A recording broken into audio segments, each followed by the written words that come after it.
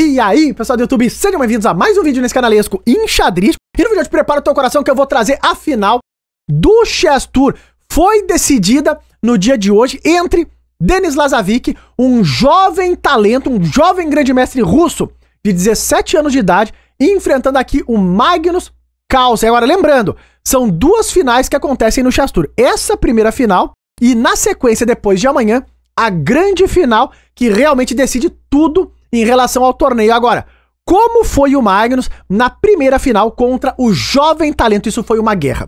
Por quê? O Magnus ganhou uma partida do Lazavik, empataram outra partida, o Magnus perdeu de peças pretas e o confronto empatou até a quarta partida que eu trago aqui para vocês. E o vencedor dessa partida é o vencedor desse match da primeira final. Agora eu aviso, te segura na cadeira, prepara a pipoca e vamos à luta, que o xadrez sempre será agora. E antes de voltar para essa partida inacreditável, chegou o grande momento. Agora em fevereiro, as matrículas do treinamento Super Alboredo vão abrir. Uh! É aquele momento perfeito para aprender com dois dos melhores jogadores de xadrez do Brasil. Fazendo a tua matrícula, tu vai ter acesso a todo o método da Júlia e do SUP, onde ele relata em detalhes o que ele fez para evoluir em cada etapa da crescente de rating, desde quando ele não tinha rating feed até chegar a 2,600. São mais de 150 horas de aulas disponíveis, conteúdos novos todo mês, aulas ao vivo toda semana e acompanhamento no grupo do Whats para tirar dúvidas. Então, se tu quer participar, é só clicar no link que tá aqui na descrição, preencher o formulário e no dia 5 de fevereiro tu vai receber um link para se tornar aluno do SUP e da Júlia. Não fica de fora dessa, porque isso não pode ser mal jamais. Uhul! Então, pessoal, aqui estamos nós, e de brancas vem o gênio russo de 17 anos, Denis Lazavik contra Magnus Carlsen. Agora, o Lazavik botou na final o peão dama. Pois foi na solidez, ele tinha acabado de ganhar uma partida do Magnus. Parece que o Magnus tomou um abalo psicológico e colocou aqui quem? Uma eslava. Então já recolheu um repertório mais na zaga. Olha o que vai acontecer o Magnus. Passa o bispo e depois o Totó, ele dá o par de bispos já na abertura e a partida já vai começar a esquentar. O Lazavik em muitas partidas ficou melhor na abertura, que é uma coisa assim surpreendente. O Magnus é muito preparado. Olha o que seguiu aqui. O Magnus jogou E6 para tirar o bispo de F8, passaram as peças para o jogo normal, desenvolvendo o bispo, bispo em B4, rock and roll, torre D1, torre E8 e aqui o Magnus vai preparando a ruptura com E5. O Lazavik vai centralizando, dama em E2 ele jogou e agora dama em E7 de novo, reforçando o avanço com E5 bispo D2 e nesse momento vem a troca em C4 e aqui o Magno jogou bispo D6, que já é um lance é, perigoso, porque permite agora o lance E4 para as brancas. Observem que esse lance ameaça um garfo. Claro, o Magnus reagiu, ele jogou E5, só que agora o Lazavik passa esse pimpolho aí, o peão de D5, uma casa muito bem controlada pelas peças brancas, posição tensa já, hein? Bispo C5, o Magnus tenta ativar o bispo agora por essa diagonal, vem a proposta de trocas, é toma, retoma, e dama C5 que tá claríssimo. O Magnus quer levar para um final. Quer tentar apertar o gênio russo no final. O Lazavik recusou. Dama em E2 mantendo a atenção. O Magnus passa o cavalo para B6. Bom lance, porque depois de bispo B3, agora ele toma em D5. Observem que o Magnus trouxe controle para essa casa de D5. Ele quer secar essa posição. Então Magnus, ele veio com o espírito do empate. É isso que tá dando a entender de momento. Ele quer igualar. Vem agora a simplificação, a troca aqui no centro. E o Magnus, ele resolve jogar o final de cavalo contra a Bispo. Lá. O Bispo tá bem centralizado, é um verdadeiro monstro aí no centro do tabuleiro, mas o Magnus tá aí, recolhido, uma posição que parece meio a 0 a 0 Olha como seguiu agora a torre C1, torre C8 luta pela coluna C, agora bispo em B3 consolida um pouco mais do bispo, abre a torre na coluna D, torre D8 vem a luta e mais uma simplificação por aqui, Rafael, isso aí tá pelo empate. Agora, cuidado, vocês sabem, esses finais, normalmente empatados, o Magnus tenta espremer, tenta apertar, mas o garoto é terrível. Olha o que vai acontecer aqui. G3 respira pro rei, G6 e o Magnus na mesma ideia. A3 jogado agora pelo Lazavik. Rei G7 e rei G2 vão melhorando as posições por ele. B6 pode começar a dar o flanco da dama. Dama em F3. Se o cavalo sai a dama sai, eu fico de olho em F7. É um raio-x por ali, nada tão claro. Torre D8 e o Magnus quer mais simplificações. Bom, o Lazavik falou: Tu quer trocar as torres? Pois troca tu. Jogou com torre D3 e o Magnus falou: Quero mesmo. Vou aproveitar e vou trocar. Agora a dama C5, a dama fica super ativa nessa casa, controla por aqui, ele tá preparando A5 logo logo, vai andar o flanco da dama, bispo C4, tirando um pouco da coluna C da dama, e A5 e parece uma posição muito sólida. Bom, começa aquele momento dos dribles. Eu vou passando aqui. Olha que o Lazavic jogou rei F3, que é um lance é completamente inacreditável. Até um lance provocativo. O rei não tá mal aqui nessa casa, tá controlando o centro, mas o rei tá muito exposto. Não tem problema. Deu aquela provocadinha no Nuruga. Bom, o Magnus, dama C8, falou: volta com esse rei, meu guri. Ele volta, não tem problema, dama C6. Observe que o Magnus não repete, agora ele pressiona o peão de E4 e o Lazavik volta com o mesmo tema lá, rei F3. Ah, o Nuruga tá ali, olhando esse rei aí meio exposto, mas não tem como punir. Então, bom lance. O rei também trabalha na posição do jovem talento. O Magnus jogou H5, ele provoca agora o H4. Para ganhar a casa de G4 pro cavalo, pode dar um ciscão por ali. O tempo já ia apertando pros dois lados, Lazavik baixando de 5 no relógio. Bispo B3 e agora B5 e o Magnus vai querendo alguma coisa. Como quem não quer nada, mas querendo. Bom, Bispo D5, Lazavik agora propõe a troca. Esse final aqui é perigoso pro Carlsen, porque o peão fica passado, apoiado com a dama por trás, problemas. Então aqui ele jogou dama D7 mantendo a atenção. Rei G2, rei F8, momento marcante. O Magnus joga, o Lazavik joga B4, o Magnus A4 e aqui ele fecha o flanco da dama. Observem que o Magnus fixa os peões dele em casas claras. Quem tem casas claras? O russo.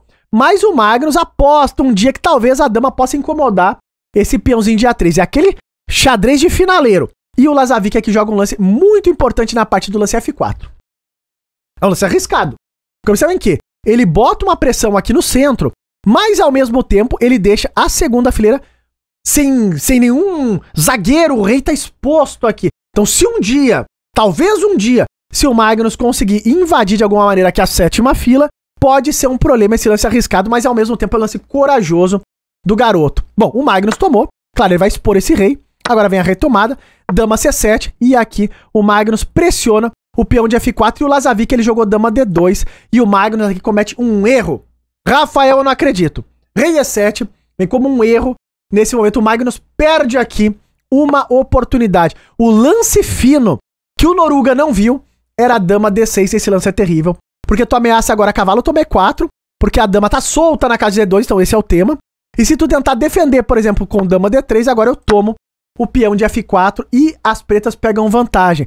Rafael tem um ditado que diz: quem não faz leva, o Magnus não fez. Tinha aqui tudo para acertar e acabou não percebendo esse tema tático. O Lazavik seguiu avançando. Pá! E5. Cavalo toma D5, agora dama D5 e entraram num final de damas que é extremamente complexo sempre. Os finais de damas, posição muito complicada de avaliar. B5 tá caindo e o Magnus aqui propõe as troca, a troca das damas para entrar em um final, final tenso. Porque trocar aqui é super perigoso. Se um dia esse rei invadir, cuidado, né? O peão de A3 pode acabar caindo. O Lazavik falou não. Não troco jamais. Jogou com cheque. O Magnus tenta esconder o rei, mas manda o rei para pro centro do tabuleiro.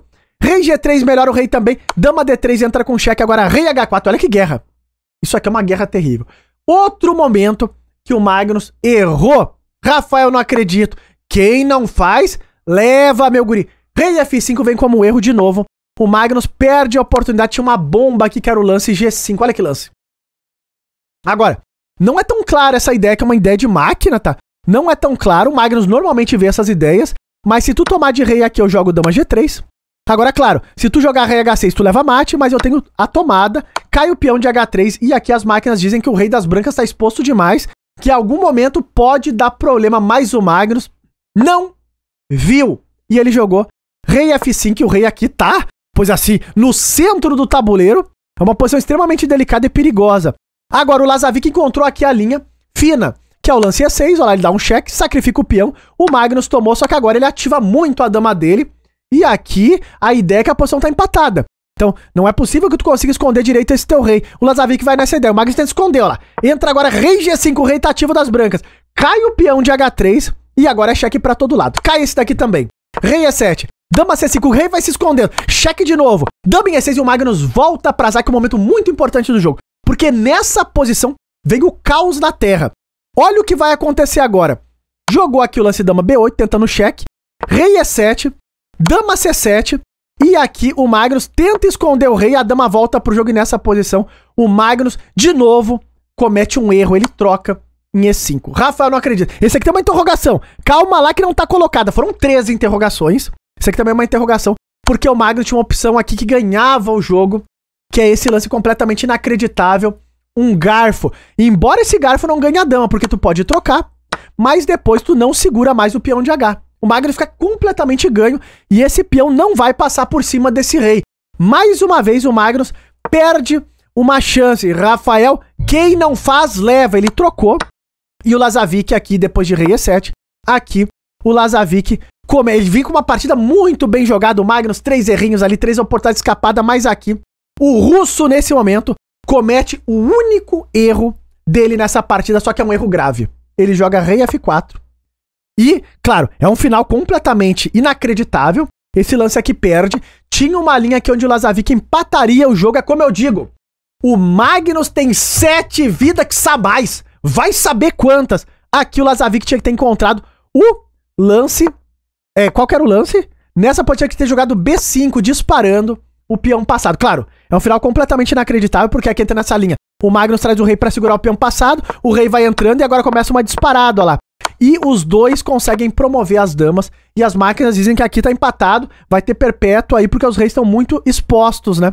Só que depois de rei F4, o Magnus aqui jogou esse, o Lazavik jogou aquele, começou o dispareto por ali, e depois de rei F3, cai o peão de E5, e aqui o jovem talento russo, com todos os peões do mundo a menos, abandonou essa partida de aperto, de tempo, de luta, de erro, mas que bota o Magnus como o vencedor dessa primeira final. Ninguém segura o homem e tá no ar a precisão desta peleia da primeira final. Observem aí que teve aquela pressão um pouco mais baixa que a normalidade, os jogadores jogam sempre acima de 90%, o Magnus 90% e o Denis Ladavik 86,5%, claro.